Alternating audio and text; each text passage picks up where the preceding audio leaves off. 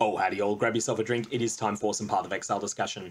This is episode two in a series where we are going to be looking at harvest crafts.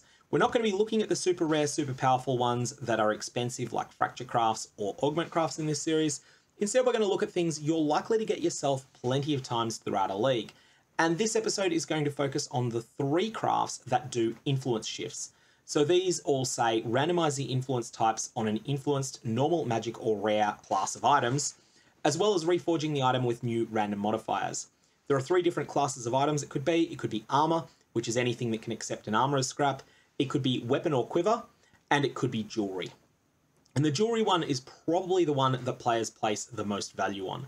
However, all of these have their uses, with weapon and quiver at the time I'm recording this video being the least popular. What's the best use case of these? The first thing to say is that these crafts are not so precious that you need to hoard them and only use them for the best case scenario.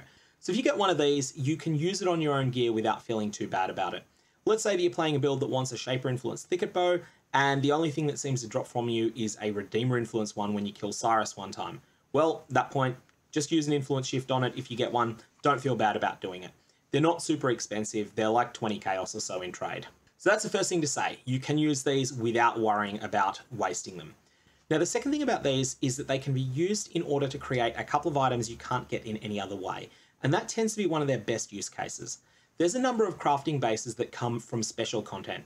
Examples of this are the Stygian Vise from Abyss content, the Blizzard Crown from Ritual content, and the Cold Attuned Buckler from Heist content. All of these are really, really good crafting bases, and all of them cannot drop with influence, outside some weird corner cases on the Heist ones. So if you ever want to get a Conqueror influenced one of those, the best way to do it is usually to apply a Conqueror Exalt to one of those bases. But if you want a Shaper or Elder influenced one, you're going to either need to use an Awakener's Orb or you're going to need to use these influence shifts. And using the influence shifts tends to be the best way to do it. So if you want an Elder influenced Stygian Vise, the best way to do that is to procure a Stygian Vise, ideally item level 86 plus, then apply a Conqueror Exalt to it, doesn't matter which one, just use whichever's cheapest, and then you apply influence shifts to it until it is either the desired influence or an, another influence that's too good to roll over. And in the case of Stygian Vises, that is usually Hunter Influence, Elder Influence, and Shaper Influence are the three that are too good to roll over. So if you hit one of those, fantastic. Uh, go and sell it and start again. And if you hit what you're after, also fantastic. You. Now, the other use case for these is creating bases that would otherwise be staggeringly rare. It is possible to get an Elder Influenced Bone Helmet from the Uber Elder encounter. It's just really, really, really rare. So an item level 86 plus Bone Helmet is not something you're going to see very often, especially not with any minion related enchants on it. However, item level 86 Bone Helmets without influence are very common, very cheap to pick up in trade, even with a good influence on them. And so at that point, you can just make them rare, and then once you've made them rare, apply a Conqueror Exalt to them. And so here we've got this Bone Helmet, which has now been turned into a Redeemer Helmet. And then at this point, we're going to use an Influence Shift on it, here we are hoping to see, and we have very low expectations, we're hoping to see this shift into an Elder influence. Instead, we got a Shaper influence, which is far too good to roll over.